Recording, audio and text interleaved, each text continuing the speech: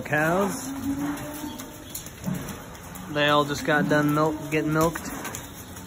Yeehaw! What's up, girls?